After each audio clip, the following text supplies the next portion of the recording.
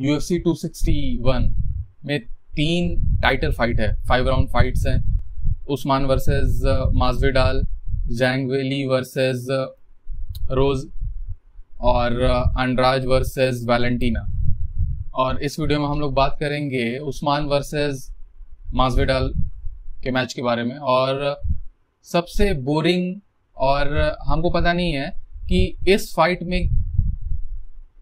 क्या नहीं होगा। बेसिकली बहुत ज़्यादा प्रिडिक्टेबल फाइट हमको लग रही है।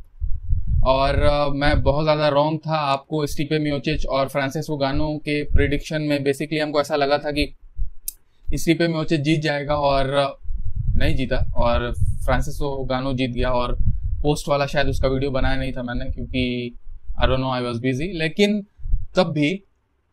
इस फाइट में हमको ऐसा कुछ लगता नहीं है कि कुछ डिफरेंट होगा। उस्मान और माजविडाल के मैच क्योंकि पहला जो 251 में हुआ था, और basically Abu Dhabi fight island में हुआ था पिछले साल, जुलाई, जून, जुलाई के वक्त में, और आप लोग को याद होगा I was also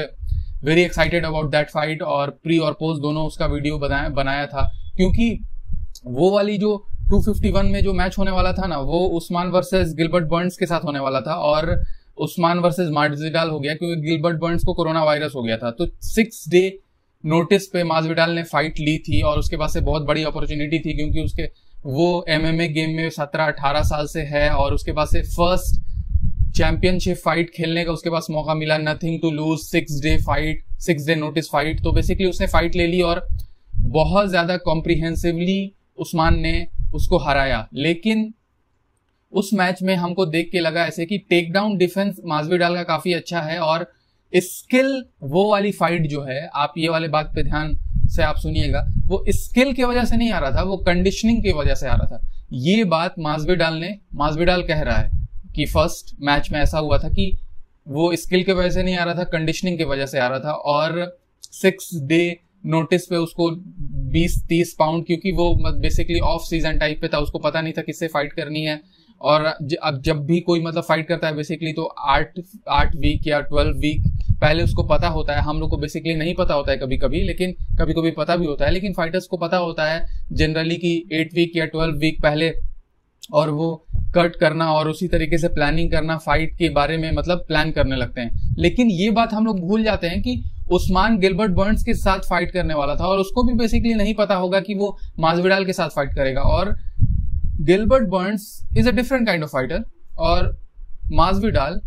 is a different kind of fighter Gilbert Burns के लिए जब वो तैयारी कर रहा होगा, उस्मान तो बेसिकली ग्रैपलिंग के लिए तैयारी कर रहा होगा और अपना ग्रैपलिंग को तराश रहा होगा बेसिकली तो मतलब वो अपने रेसलिंग पर काम कर रहा होगा। और माजविडाल के साथ अगर उसको फाइट करनी है तो वो रेसलिंग पर करेगा, क्योंकि उसका प्लस पॉइंट उस्मान का वही है। लेकिन वो स्ट्राइकिंग में स्ट्राइकिंग डिफेंस के लिए भी काम करेगा, क्योंकि Masvidal got very fast hand और बहुत ज़्यादा एजुकेटेड स्ट्राइकिंग गेम है उसके पास। तो बेसिकली उस्मान जब वो वाली फाइट जीता तो उस्मान को कोई ऐसा बोल ही नहीं रहा था कि उस्मान इज़ लाइक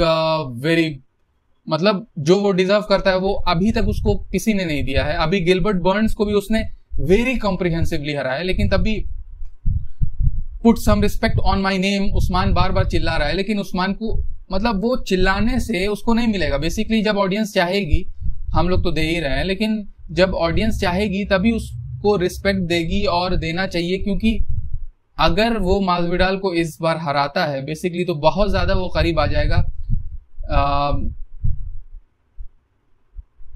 सेंट पियर के रिकॉर्ड के नज़दीक तो नहीं आ जाएगा, लेकिन बेसिकली लेजेंडरी स्टेटस में उस्मान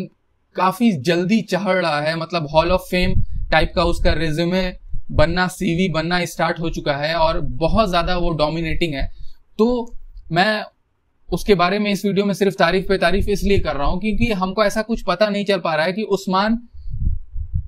क्या मतलब गलत करेगा या क्या वो फ़र्स्ट फाइट में उसने गलत किया जो सेकंड फाइट में वो नहीं करेगा। बेसिकली माजविडाल को क्या करना चाहिए जीतने के लिए? माजविडाल जिस तरीके से उसने अप्रोच किया था फ़र्स्ट फाइट जो मतलब स्ट्राइकिंग गेम के हिसाब से मतलब वो फ़र्स्ट राउंड में काफ़ी ज़्यादा मतलब उस्मान पे मतलब स्ट्राइकिंग काफ़ी अच्छा उसका पता चल रहा था फ़र्स्ट राउंड में और बेसिकली वो कंडीशनिंग की वजह से और एक बात जो मैं मतलब ज़रूर कहना चाहूँगा कि फ़र्स्ट फाइट में उस्मान ने ये गलती की कि माजविडाल को फिनिश नहीं किया, क्योंकि माजविडाल का अगर वो फिनिश कर देता तो कुछ कहने के लिए माजविडाल के पास रहता नहीं। भले सिक्स डे नोटिस था लेकिन तब भी। लेकिन माजविडाल के पास ये कहने के लिए रहा कि मतलब वो सिक्स डे नोटिस पे आया और तब भी तुम हमको फिनिश नहीं कर पाए। और उस्मान ने ये गलती की है फ़र्स्ट राउंड फ़र्स्ट फाइट में, क्योंकि थर्ड फोर्थ फिफ्थ फोर्थ में थोड़ा ज़्यादा एक्टिव था Masvidal I don't know why लेकिन थर्ड और फिफ्थ में काफ़ी ज़्यादा स्लो था और माजविडल और उस्मान मतलब उतना ज़्यादा रिस्क नहीं लेना चाह रहा था और माजविडाल के बारे में हम लोग को पता है कि he is a risk taker और मतलब जिस तरीके से कैलकुलेटेड उसने रिस्क लिया था मतलब आपको बेन एस्क्रिन के मैच में जो मतलब अगर बेन एस्क्रिन उसको ग्राउंड पे ले जाता it's like a very different thing और very different match very different history of Masvidal हो जाता है। लेकिन ऐसा हुआ नहीं, उसने एक बहुत ज़्यादा कैलकुलेटेड रिस्क लिया और वो सक्सेसफुल रहा। तो इस वाले फाइट में हमको ऐसा लगता है कि जिस तरीके से फ़र्स्ट वाली फाइट हुई थी, बहुत ज़्यादा रेसलिंग बेस्ड फाइट उस्मान ने किया था। इस बार अगर हमको हमको ऐसा लगता है कि अगर माजविडाल कंडीशनिंग उसकी उतनी अच्छी नहीं रहेगी और फ़र्स्ट और सेकेंड राउंड में बहुत ज़्यादा एग्जॉस्ट हो जाएगा तो उस्मान को फिनिश के लिए जाना चाहिए। लेकिन हमको इस वाले फाइट में भी ऐसा ही लगता है कि उस्मान अपने पॉजिटिव पॉइंट पे टिका रहेगा और मतलब रेसलिंग गेम पे टिका रहेगा और मतलब यही चीज़ उसको मतलब ग्रेट बनाती है। और माजविडाल को अगर ये वाला फाइट जीतना है तो बेसिकली डिफेंस में रेसलिंग के डिफेंसिव में मतलब टेकडाउन डिफेंस में काफ़ी अच्छा और अच्छा दिखाना होगा जो उसका अच्छा है। और क्लिंच में और अच्छा परफॉर्म करना होगा और मतलब पोजिशनिंग जीतना होगा ग्राउंड पे उस्मान के साथ, जो it's like a very very different thing और ये वाली फाइट जितना ज़्यादा स्टैंडिंग बनानी है, उतना ज़्यादा बनानी चाहिए माजविडाल को। लेकिन ये भी बात आप ध्यान में रखिए कि आप माज मतलब उस्मान भी की स्ट्राइकिंग काफ़ी अच्छी हो रही है धीरे धीरे जो जैब उसका है, जो जस्टिन गेची का कोच के साथ ट्रैवल विटमिन के साथ, जो मतलब उस्मान भी अब आ चुका है कैंप चेंज करने के बाद और basically jab it's like a very very different और बहुत अच्छा उसका जैब हो चुका है। तो ये भी आपको ध्यान में रखना होगा कि स्ट्राइकिंग में ज़रूरी नहीं है कि माजविडाल हर एक बैटल जीत ही जाए, लेकिन तब भी बहुत ज़्यादा डिफ़िकल्ट होगा माजविडाल के लिए ये वाली फाइट जीतना क्योंकि मतलब रेसलिंग जो है ना इट्स लाइक अ बहुत ज़्यादा इंपॉर्टेंट है और हमको ऐसा लगता है कि एमएमए मैच में अगर रेसलिंग किसी का अच्छा है ना तो 70 80 परसेंट मतलब वो लोग फाइट जीतते हैं। ग्राउंड गेम बेसिकली आप कह सकते हैं। रेसलिंग को एक तरीके से मतलब ग्राउंड गेम या ग्रैपलिंग जिसका अच्छा है, अगर एक बार ग्राउंड पे चला गया तो बहुत ज़्यादा एग्जॉस्टिंग हो जाता है। और जिसमें उस्मान, अगर स्ट्राइकिंग बैटल हारता है तो ग्राउंड पे मैच ले जाएगा और बेसिकली अपने विल पर वो